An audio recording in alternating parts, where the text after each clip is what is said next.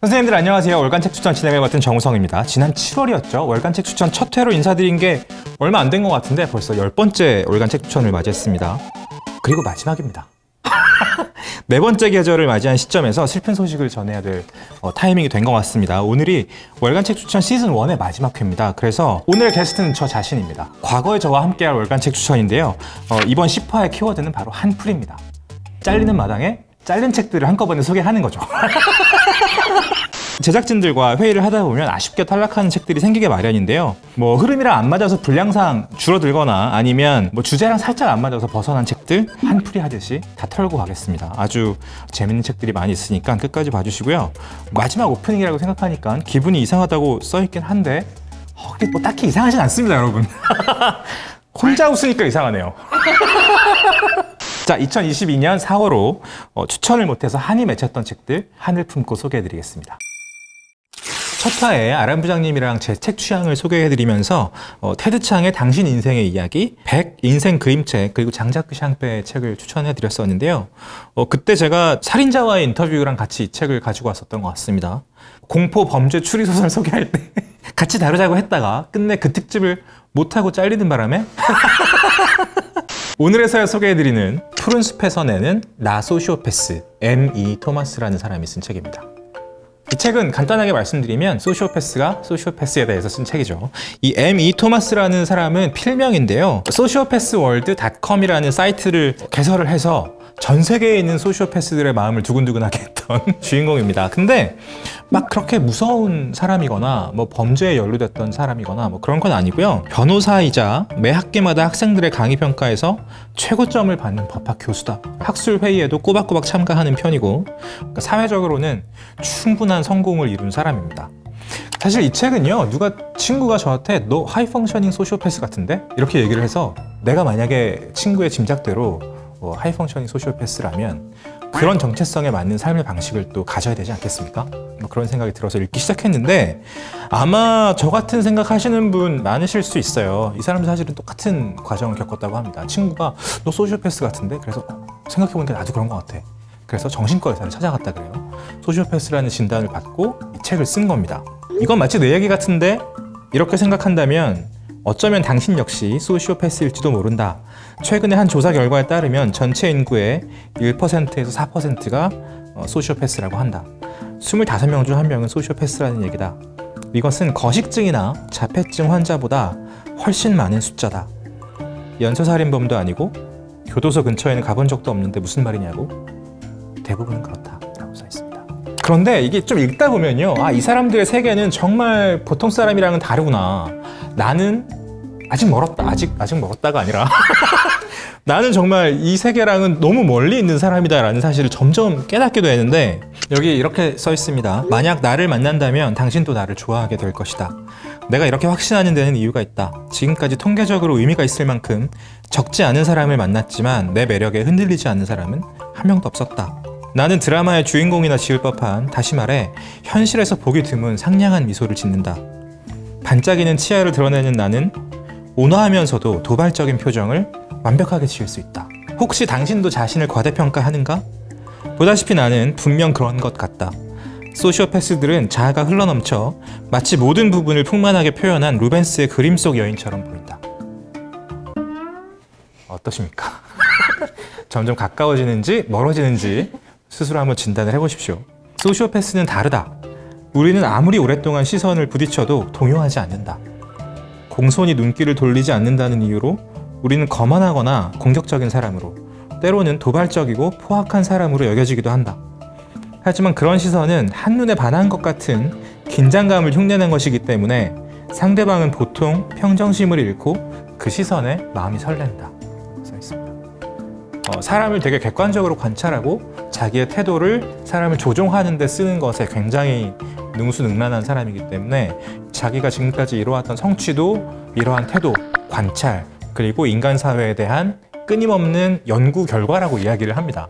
읽다 보면 점점 입체적으로 소시오패스가 어떤 성향을 가진 사람인지 그리고 어떤 특성을 가지고 어떤 세계에 살고 있는 사람인지를 조금 알 수 있게 됩니다. 소시오패스나 뭐 사이코패스, 인간의 심리 이런 것에 관심이 있으셨던 분들은 어, 인간을 조금 떨어져서 객관적으로 관찰하면서 끊임없이 인간 사회에 녹아들기 위해서 애를 쓰는 어떤 사람 그런 사람의 일대기랄까? 그런 것을 이 책에서 만나실 수 있습니다. 아주 흥미진진한 책이에요. 우리가 소시오패스 얘기를 한참 하다가 너무 좀 마음이 차가워진 것 같아서 이번에는 따뜻한 책 두 권을 준비를 했습니다. 한솔 편집자님과 진행했던 그림책 편 기억하시죠? 제가 그때 사실 이 책을 가지고 왔었는데 어른의 만화책 같은 느낌이어서 그때는 조금 더 그림책에 가까운 책들을 소개해드리는 편이었기 때문에 첫 번째 소개해드릴 책은 네이선 W 파일의 낯선 행성입니다. 시공사에서 낸 책입니다. 이 책은 나 소시오패스 다음에 소개하는 게 너무나 자연스러운 책인데요. 이건 지구에 갑자기 떨어진 외계인들에 대한 이야기거든요. 지구의 여러 가지 생활 방식을 외계인의 언어로 표현한 네컷 만화입니다. 읽다 보면 인간 사회라는 것은 어쩌면 우리가 생각하는 것보다 훨씬 더 보들보들하고 감동적인 순간들로 가득 차 있는 것 같다. 뭐 그런 생각이 드실 수도 있을 것 같아요. 일단 아이가 태어나면서 시작을 하는데요. 아이가 태어나면 같이 놀아줄 때 이렇게 얼굴 가렸다가 이렇게 짠 하고 막 이렇게 막 애기 막 까르르 하고 그런 거 있잖아요. 그런 것에 대해서 이렇게 얘기합니다. 내가 존재하는 것을 멈췄을까? 속임수 아니었다. 뭐 이렇게. 읽다 보면 처음에는 아 이게 번역이 좀 어색한 거 아닌가? 라고 생각하실 수 있는데요. 이 책의 핵심은 이 번역가가 황석희 선생님이라는 거죠. 번역의 달인 아니겠습니까? 데드풀의 아버지. 황석희 번역가님이 번역을 한 책이어서 읽다 보면 정말 와 이거는 이분이 아니면 이렇게까지 맛깔나게 번역할 수 있었을까? 뭐 그런 생각이 드는 정도입니다. 감동적이었던 만화들을 몇 개 좀 소개해드리고 싶은데 외계인이 울고 있죠. 네 안면은 왜 오작동하냐? 상호 상지 감싸기를 요청한다. 허락한다. 네가 내 안면액을 흡수하고 있다. 내가 다 흡수할게. 내가 다 흡수할게. 이렇게 써 있습니다. 안면액은 눈물이고요. 상체는 상지, 하체는 하지입니다. 상호 상지 감싸기는 허그겠죠. 그러니까 이런 식으로 만약에 언어에 알맹이가 있다면 인간 사회에서는 좀 꾸며진 말, 인간의 문화에 조금 더 친숙한 말들을 표현하고 있는데 외계인들은 그런 게 아니라 정말 보이는 대로 이야기를 하는 어, 그런 느낌입니다. 또 대표적인 것 중에 하나는 바로 이건데요. 아이가 묻습니다. 나뭇잎이 왜 바닥에 있나요? 사망했기 때문이다. 그리고는 떨어지지. 그래서 이 시기를 추락의 계절이라고 한다. 사망한 나뭇잎 내부로 돌입해도 되나요? 그럴 거라고 예상했다. 그게 바로 추락의 계절의 의식이다. 난 추락의 계절 좋아요. 가을이죠. fall이니까. 이런 거 참 재밌지 않습니까? 낯선 행성이라는 것은 사실은 지구를 뜻하는 것이고 우리가 생각하는 것보다 그리고 어, 늘 뉴스에서 마주하는 것보다 훨씬 따뜻한 행성일 수도 있다. 그런 이야기를 하고 있으니까요. 여러분들도 따뜻한 위로를 받으셨으면 좋겠고 다음 어, 만만한 책방에서 나온 고정순 작가님의 가드를 올리고라는 그림책입니다. 50페이지에 걸쳐서 빨간 주먹과 검은 주먹의 권투 장면만 클로즈업한 그런 그림책입니다. 그래서 뭐 싸우거나 맞거나 다시 일어나거나 이런 스토리인데요. 첫 페이지부터 산을 오른다.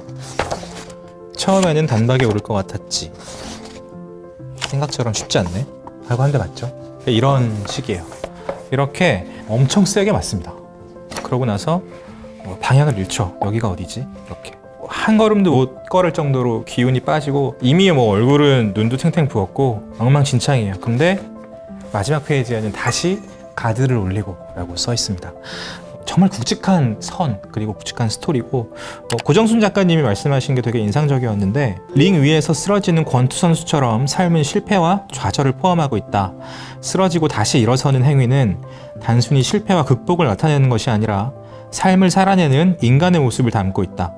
상대의 주먹으로 계속 무너지는 자신을 방어하기 위해 가드를 올리는 행위는 마치 자신의 의지로 존재하고 싶은 삶의 태도를 나타낸다. 마지막 공이 울릴 때까지 상대와 나만이 존재하는 링 위에서 얼마나 쓰러졌는가가 아니라 어떻게 일어섰는가를 말이다.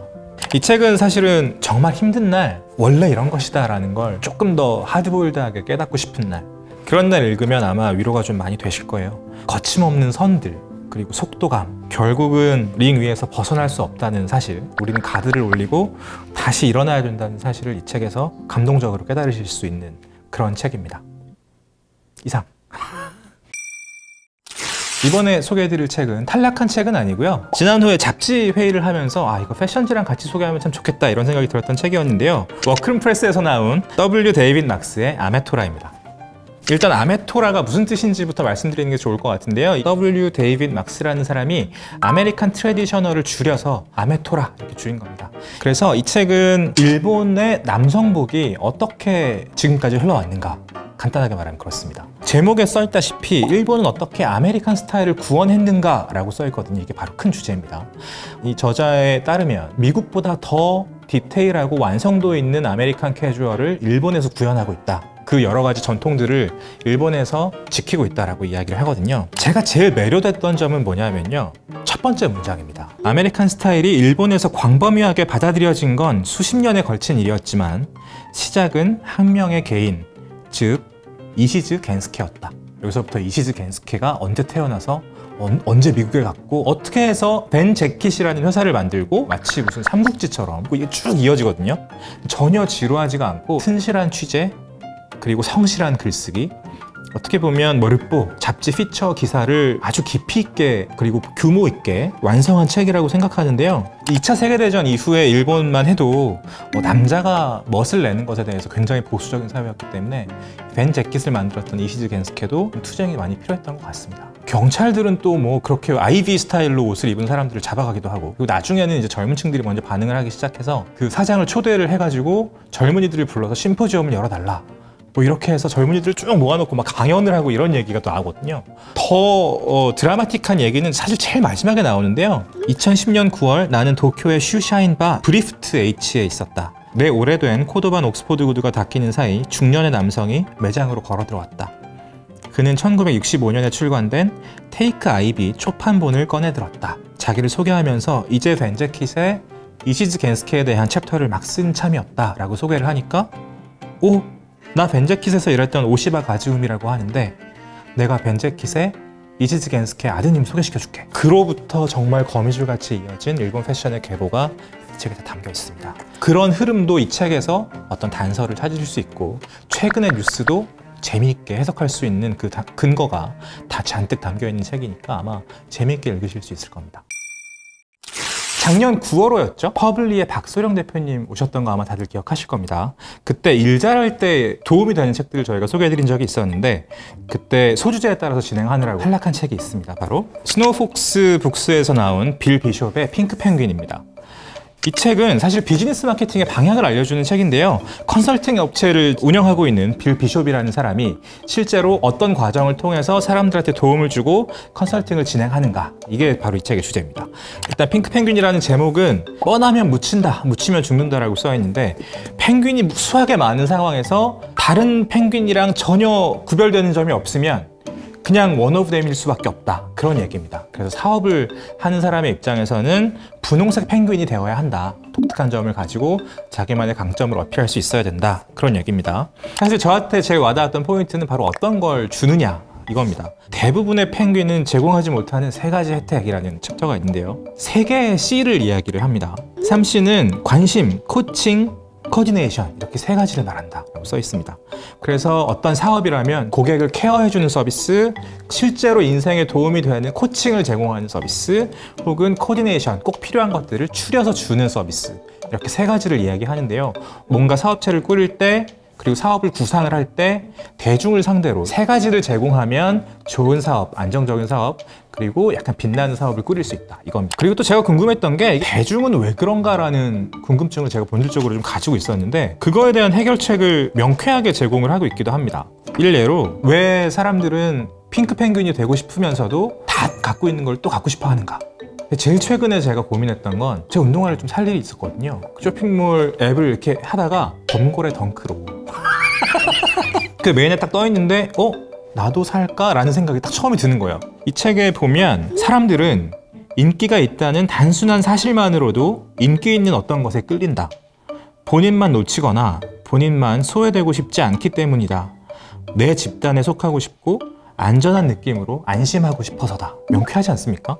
그냥 인기가 있기 때문에 끌리는 게 있고 그래서 처음에 미디어 스타트업을 꾸릴 때 뭐 이런 얘기들을 조언들 많이 하거든요. 팬을 잡아라. 열성 팬과 먼저 가까워지기 시작하면 그들을 따라가는 팔로워들이 또 또 다른 시장을 형성한다. 뭐 이런 이야기입니다. 이런 문장에서도 개인적으로는 좀 단서를 찾을 수 있었던 아주 고마운 책이에요.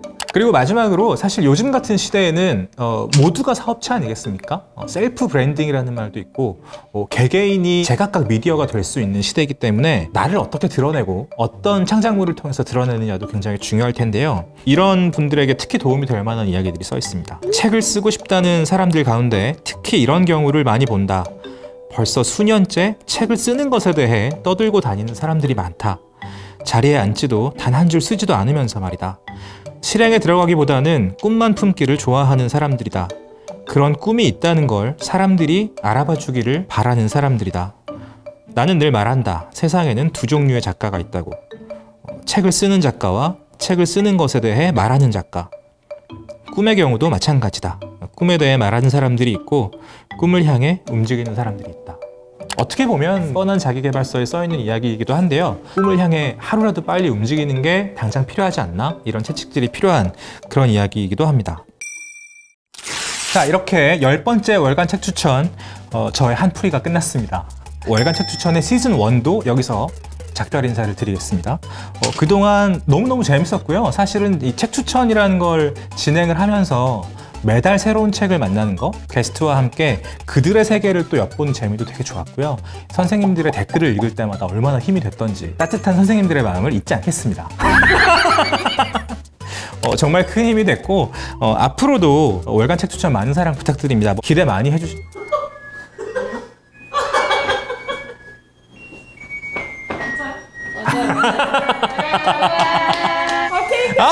귀엽다 이거.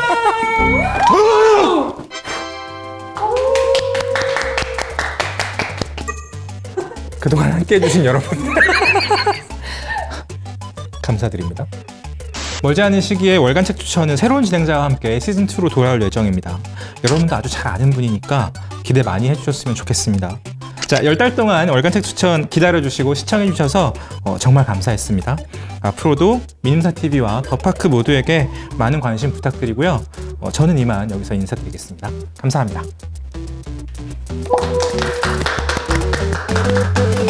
감사합니다.